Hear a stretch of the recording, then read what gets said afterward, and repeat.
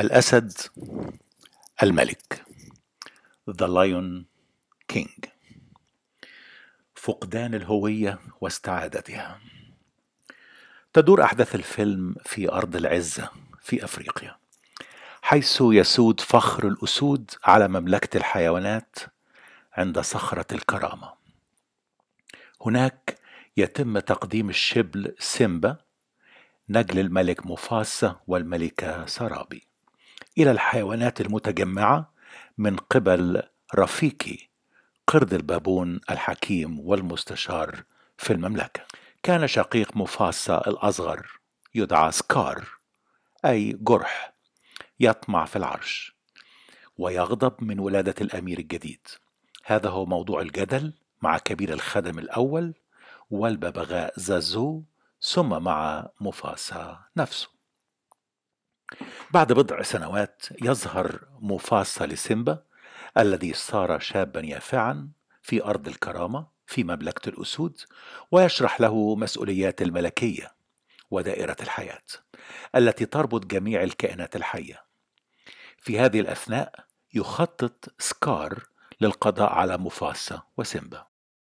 يخدع سيمبا وصديقته نالا التي خطبت له لاستكشاف مقبرة الفيلة المحظورة عن طريق خداع زازو. ومع ذلك سرعان ما تعرضت الأشبال للهجوم من قبل ثلاث من الضباع المرقطة إد بانزي وشانزي الذي هم في تحالف مع سكار. لكن يتدخل مفاسا وينقذ الأشبال على الرغم من غضب مفاسا من سيمبا إلا أنه يغفر له ويشرح له كيف أن ملوك الماضي العظماء يراقبونهم من سماء الليل والذي بدوره سيكون مراقبه في يوم من الأيام. يضع سكار فخا لأخيه وابن أخيه ويجذب سيمبا إلى ممر ضيق حيث تجبر الضياع قطيعا كبيرا من الحيوانات البرية إلى التدافع فتدوس كل ما هو أمامها بما فيها سيمبا. لا يتدخل سكار نفسه لإنقاذ سيمبا ولكنه بدل من ذلك يبلغ مفاسة بالخطر المحدق بسيمبا عالما أن الملك سوف يندفع لإنقاذ ابنه. ينقذ مفاسة سيمبا ولكن ينتهي به الأمر أن يتعلق على حافة الجرف. يرفض سكار مساعدة مفاسة بدلا من ذلك يدفعه إلى السقوط في الهوة فيموت. يقنع سكار سيمبا بأن مأساة مقتل أبيه الملك هي خطأه وغلطته ونصحه بمغادرة المملكة وعدم العودة أبدا.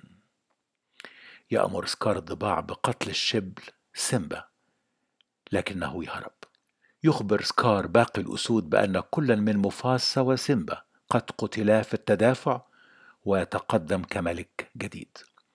مما سمح لأتباعه الضباع الثلاثة وباقي مجموعاتهم الكبيرة بالعيش في أرض الكرامة. ينهار سيمبا في صحراء ويقارب الموت إلا إنه يتم إنقاذه من قبل تيمون وبومبا. الأول مركات صغير ليس له قيمة والثاني بومبا خنزير بري. وهما من منبوذي الحيوانات فيطردان النسور التي كانت تستعد لالتهام الشبل الذي قارب على الموت. ينشأ سيمبا في الغابة مع صديقيه الجديدين حيث عاش حياة خالية من الهموم تحت شعار كلمة هي هاكونا متاتا بمعنى لا تقلق في اللغة السواحلية يقدم لنا الفيلم فاصلا غنائيا جميلا يعرض فيه الشعار الجديد هاكونا متاتا أي عش حياتك بالطول والعرض لا تهتم What? Hakuna Matata! It means no worries. Hakuna Matata. What a wonderful phrase.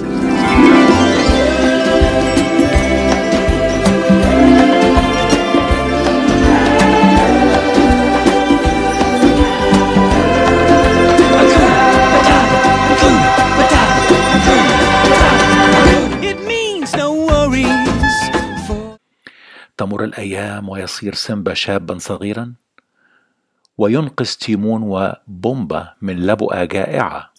تبين أنها نالا صديقة الطفولة. يتذكر سيمبا ونالا بعضهم البعض لكن لم تكن تعلم هي أو أي أحد من عائلته بأنه أي سيمبا على قيد الحياة وتجهل سره الذي يخفيه. يبدو أن سيمبا ونالا قد وقعا في الحب فتحثه على العودة إلى المنزل. قائلة له إن أرض الكرامة أصبحت أرضا قاحلة منكوبة بالجفاف تحت حكم سكار. لكن بسبب الشعور بالذنب على وفاة والده يرفض سيمبا ويخرج. ثم يقابل القرد رفيقي الذي كان يبحث عنه. والذي يحاول أن يجعل الأسد الشاب سيمبا يستعيد هويته مرة أخرى. فهذا هو الحل الجذري لاستعادته مرة أخرى لنفسه كأسد وكراع لأسرته ولبقية الحيوانات. يخبر رفيقي سيمبا أن روح مفاسة ابيه تعيش فيه. وفي لحظة إلهام يرى سيمبا شبح مفاسة في سماء الليل الذي يخبره أنه يجب أن يأخذ مكانه الصحيح كملك ادراكا أنه لم يعد بإمكانه الهروب من ماضيه.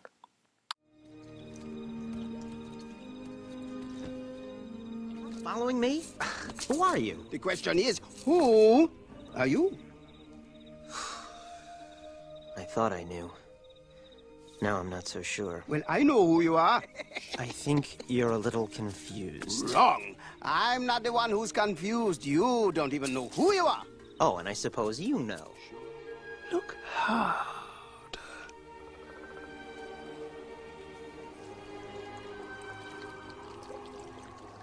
You see, he lives in you.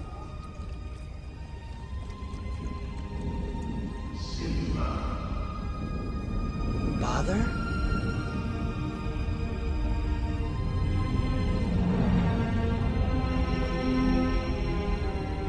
Simba, you have forgotten me. No. How could I? You have forgotten who you are, and so forgotten me. Look inside yourself, Simba. You are more than what you have become. أخيرا يقرر سيمبا العودة إلى أرض كبرياء الأسود يتسلل سيمبا بمساعدة أصدقائه أمام الضباع إلى صخرة العزة فيواجه سكار فيراه يعتدي على أمه سرابي يبدأ سكار في السخرية من سيمبا ويذكره بدوره في مقتل أبيه مفاسة متسببا في سقوطه ميتا من حافة الصخرة حيث يكشف له أنه قتل مفاسة أبيه. يثور سيمبا غاضبا فيطرح سكار أرضا ويجبره على الكشف عن الحقيقة لبقية الأسود.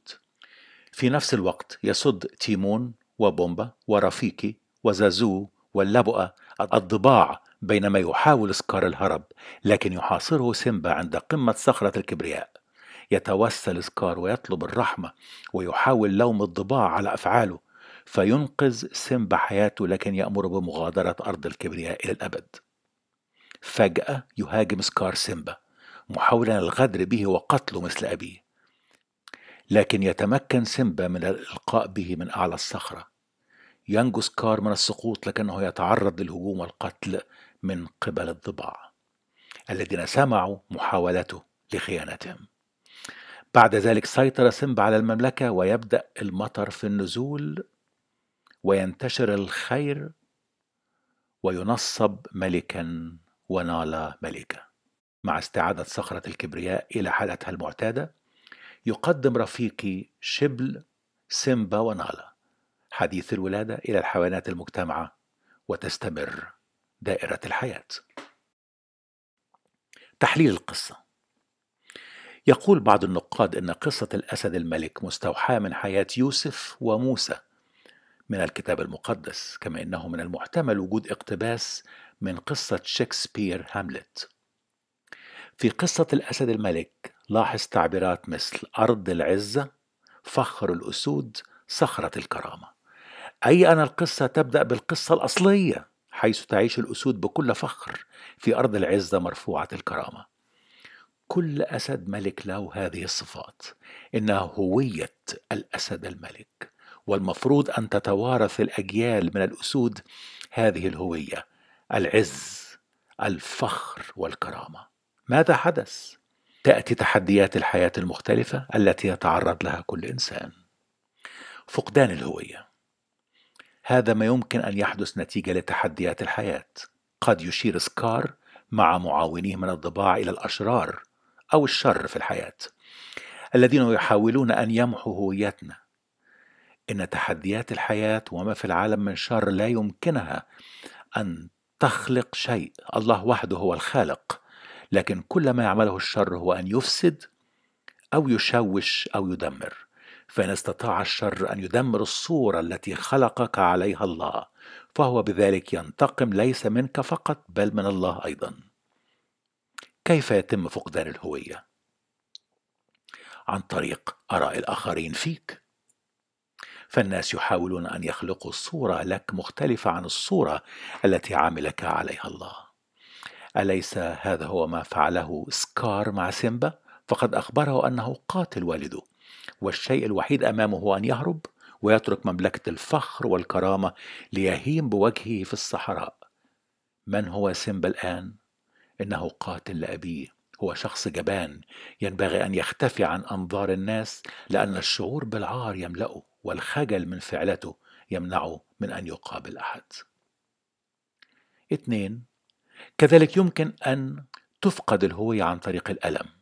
الذي لو لم يعالج يمكن أن يشوه صورة الله حتى يجعلك في مرارة وغضب ويأس. إن ألم فقدان سيمبا لأبيه لا يزيده إلا الشعور بالذنب أنه القاتل. أفضل شيء يعمله الآن هو الهرب وإخفاء فعلته ونسيانها وعدم مواجهة الواقع. ثلاثة. كذلك تساهم الميديا في تشويه الهوية. حتى تنظر إلى صورة أخرى تضعها الميديا لك. ما هي, ما هي صورة سيمبا الآن التي تعلمها من صديقيه الجديدين؟ ميركات وخنزير بري. وهما حيوانان منبوذان الأول صغير الحجم والثاني يعيش في بطن الأرض ومليء بالقاذورات. يتعلم الملك الأسد أن يكون هاكونا متاتا وهذه الكلمة تعني لا, لا تقلق عش الحياة كما يحلو لك بلا مسؤولية أو هموم أرقص إلعب كل ونام. هذه الحياة لا توجد هوية تسمى الأسد الملك فقط عيش بهوية هاكونا متاتا لا شيء يهم لا تقلق. أربعة الأفكار في عقلك. الله يضع إلهام لكن تحديات الحياة تقدم التجارب. أفكار مثل أنت كم مهمل وأنك لا يمكن أن يغفر لك. كذلك الشعور بالعار أو لا يمكنك أن تعمل شيئا جديدا. وعندما تكرر هذه الأفكار في عقلك تثبت داخلك ويحدث تشويها لهويتك. عندما حثت نالا سيمبا على العودة قائلة له إن أرض الكرامة أصبحت أرضا قاحلة منكوبة بالجفاف تحت حكم سكار لكن بسبب الشعور بالذنب على وفاة والده يرفض سيمبا تماما ويهرب. إذا إذا كان أي مما يلي يبدو مألوفا لك فهذه علامة على شعورك بالضياع في الوقت الحالي. ليس لديك شعور قوي بالهوية؟ أنت لا تعرف مكانك في العالم؟ أنت تكافح لتتخيل مستقبل لا يبدو مختلفا عن حاضرك؟ تشعر بالاستياء من أمور معينة من حياتك؟ تشعر أن هناك في الحياة أكثر مما تتضمنه حياتك حاليا؟ تشعر بفجوة معينة بينك وبين الناس في حياتك؟ لم تعد تشعر بالراحة مع نوعية الشخص الذي أنت عليه. الاستنارة. هناك قول كونك تشعر بالضياع فذلك جزء منطقي في طريق اكتشاف النفس. القرد رفيقي وكأنه الحكيم المرشد والصديق فكلمة رفيقي في اللغة السواحلية تعني صديق كذلك في العربي. وهذا هو عمل روح الله المدعو للمرافقة فهو يرشد ويقود. وقد أرشد رفيقي سيمبا برؤية خاصة وجعله يرى من هو. إنه ليس هاكونا متاتا إنه الأسد الملك. هذه هي لحظة الاستنارة وهي قمة الفيلم. النقطة الأخيرة عودة الهوية. قد يقابلنا الله في صحراء أوقاتنا وآلامنا. والصحراء هي أوقات حياتنا التي نشعر فيها بالعزلة والوحدة ونتساءل عما يريده الله في حياتنا. بل نتساءل ما هي هويتنا. في المقابلة مع الله يمكن استعادة الهوية. في المقابلة مع الله نتعلم أن قصتنا هي جزء من قصة أعظم. في المقابلة مع الله نبدأ في إدراك من نحن فعلا. في المقابلة مع الله يأخذنا الله لبداية أخطائنا التي تسببت في تشويه الهوية. في المقابلة مع الله نبدأ في معرفة هدف الله لحياتنا من جديد. نعم الأسد الملك.